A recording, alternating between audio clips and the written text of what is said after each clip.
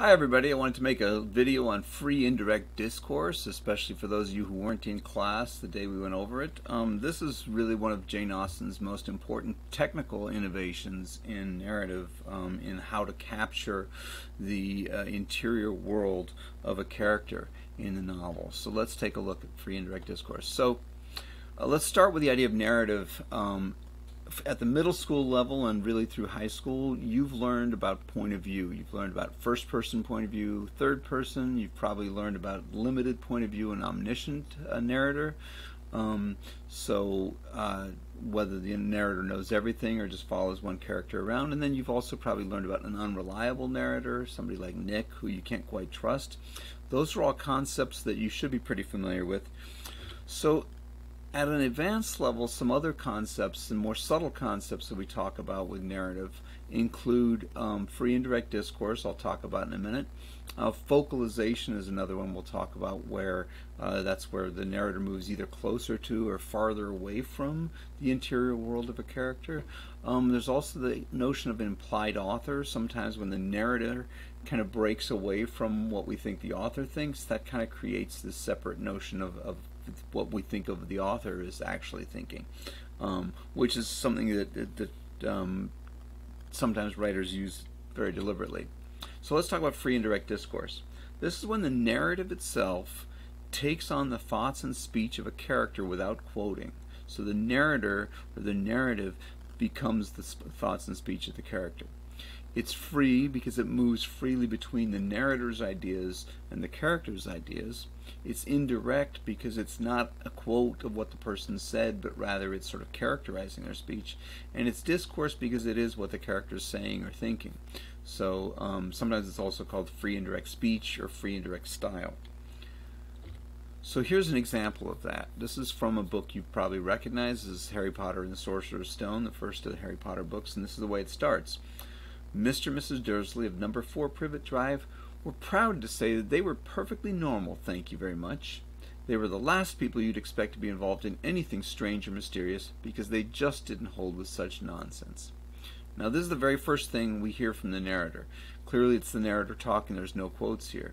But when it says thank you very much in the first sentence, that's not really the narrator's voice, that's the Dursley's voice when it says such nonsense, it's not the narrator who thinks that it's nonsense, it's the Dursleys who thinks think that it's nonsense. So right away we're getting not only the thoughts, but the very voice, the very sort of expressions of the characters in the narration itself.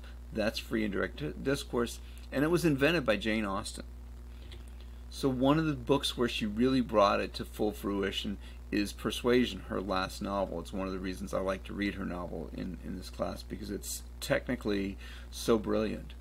So this is a passage that's a famous example of free indirect discourse. It's Lady Russell's um, pass. It's in pa chapter four. This is Lady Russell persuading um, Anne to give up her her engagement with Captain Wentworth, and so it goes through Lady Russell's ideas, and you can see the narrative takes on the voice of Lady Russell at the time. Let's listen. He thought it a very degrading alliance, and Lady Russell, though with more tempered and pardonable pride, received it as a most unfortunate one. Anne Elliot, with all her claims of birth, beauty, and mind, just throw herself away at nineteen? Involve herself, at nineteen, in an engagement with a young man who had nothing but himself to recommend him, and no hopes of attaining affluence, but in the chances of a most uncertain profession, and no connections to secure even his further rise in that profession, would be indeed a throwing away which she grieved to think of.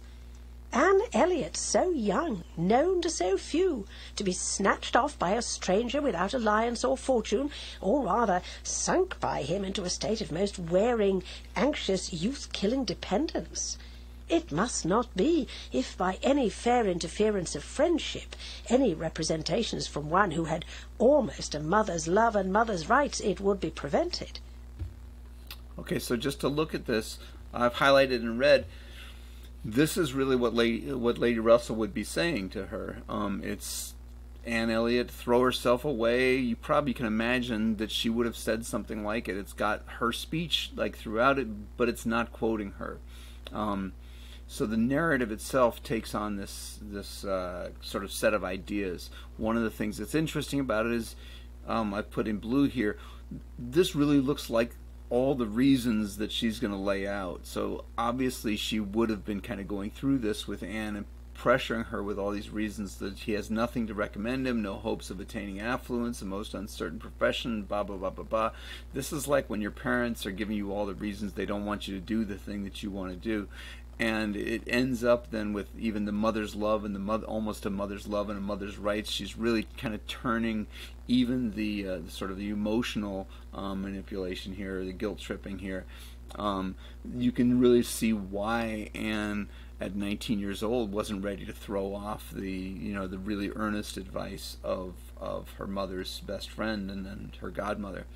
So uh, what's interesting, and this is again that's a very famous passage. What's interesting is the passage follows then with sort of the the counterpoint from Captain Wentworth. Let's let's see what that says, and it continues then by taking on his voice a little bit. Captain Wentworth had no fortune. He had been lucky in his profession, but spending freely what had come freely, had realized nothing. But he was confident that he should soon be rich, full of life and ardour. He knew that he should soon have a ship, and soon be on a station that would lead to everything he wanted. He'd always been lucky. He knew he should be so still. Such confidence, powerful in its own warmth and bewitching in the wit which often expressed it, must have been enough for Anne. But Lady Russell saw it very differently. His sanguine temper and fearlessness of mind operated very differently on her. She saw in it but an aggravation of the evil. It only added a dangerous character to himself. He was brilliant, he was headstrong. Lady Russell had little taste for wit, and of anything approaching to imprudence a horror. She had deprecated the connection in every light.